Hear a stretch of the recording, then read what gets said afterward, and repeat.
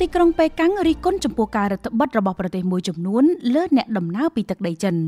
ចិនបានហៅការរដ្ឋបတ်អន្តរជាតិកាន់តែខ្លាំងឡើងលើអ្នកធ្វើដំណើរពីទឹកដីរបស់ខ្លួនថាมันអាចទទួលយកបានបន្ទាប់ពីប្រទេសជាច្រើនបានដាក់វិធានការទប់ស្កាត់ជំងឺ Covid-19 ថ្មីលើភ្ញៀវទេសចរបរទេសមកពីប្រទេសដែលមានប្រជាជនច្រើនជាងគេលើពិភពលោក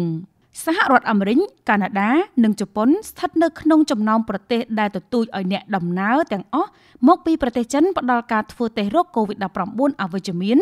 មុនពេលមកដល់ដោយសារក្តីបារម្ភកើនឡើងចំពោះករណីឆ្លងកើនឡើងគណៈគណៈកម្មការអឺរ៉ុបបានបញ្ជាក់កាលពីថ្ងៃអង្គារទី3ខែមករាថាសមាជិកភាគច្រើននៅក្នុងចំណោមសមាជិក27ប្រទេសរបស់សហភាពអឺរ៉ុបរួមទាំងប្រទេសបារាំងអេស្ប៉ាញនិងអ៊ីតាលី ក៏ចង់ឲ្យអ្នកដំណើរដែលមកពីប្រទេសចិនត្រូវបានធ្វើតេស្តរោគ COVID-19 មុនពេលចេញដំណើរប្រទេសទាំង3ដែលបានដាក់លក្ខខណ្ឌធ្វើតេស្តរួចហើយលើការមកដល់ពីប្រទេសចិនដោយរងចាំវិធីសាស្ត្ររួមសម្រាប់ប្លុកទាំងមូលកិច្ចប្រជុំជុំវិញបញ្ហានេះធ្វើឡើងនៅថ្ងៃពុនទី4ខែមករាឆ្នាំ2023 លើបញ្ហានេះនឹងសម្រេចថាតើវិធានការសម្របសម្រួលអ្វីខ្លះនឹងត្រូវអនុវត្តនៅទូទាំងប្រឡុង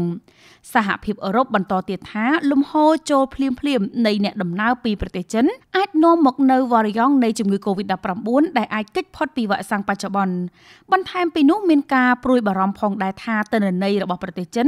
ស្ដីពីការឆ្លងគឺមិនពេញលេញនិងមិនគ្រប់គ្រាន់ ស្នងការសុខភាពសហភាពអឺរ៉ុបបាននិយាយថាក្រមមន្ត្រីក៏បានយល់ព្រមក្នុងការណែនាំជាជំហានជំហាននៅការត្រួតពិនិត្យទឹកសំណល់ពីជើងហោះហើរនិងនៅអាកាសយានដ្ឋានដើម្បីរកមើលតាមដាននៃជំងឺ Covid-19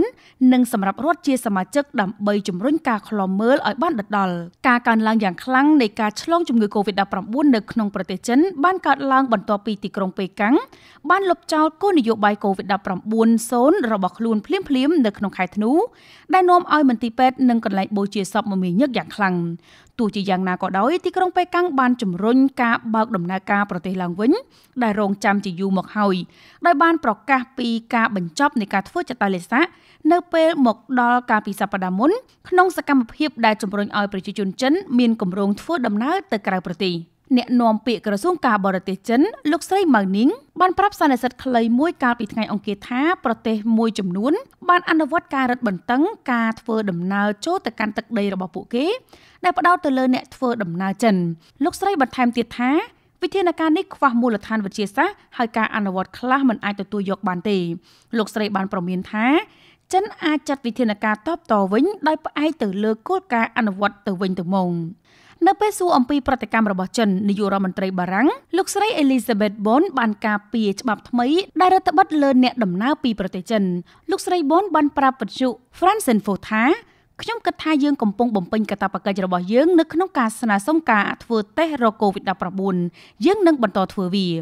គួរបញ្ជាក់ផងដែរថាច្បាប់ដែលដាក់ចេញដោយបណ្ដាប្រទេសមួយចំនួនបានប៉ះពាល់ដល់អ្នកធ្វើដំណើរទាំងអស់ដែលមកពីប្រទេសចិនមិនមែនជាជនជាតិចិនទេខណៈដែលទីក្រុងប៉េកាំងនៅតែបន្តដាក់កំហិនអ្នកចូលមកក្នុងប្រទេសនិងមិនចេញទិដ្ឋាការសម្រាប់ភ្ញៀវទេសចរឬនិស្សិតអន្តរជាតិឡើយបណ្ដាប្រទេសនានារួមទាំងសហរដ្ឋអាមេរិកផងដែរបានលើកឡើងពីកង្វះដំណាភាព របស់ទីក្រុងប៉េកាំងអំពីទិន្នន័យនៃការឆ្លង និងហានិភ័យនៃការប្រែប្រួលថ្មីដែលជាហេតុផលដាក់កម្រិតអ្នកធ្វើដំណើរ។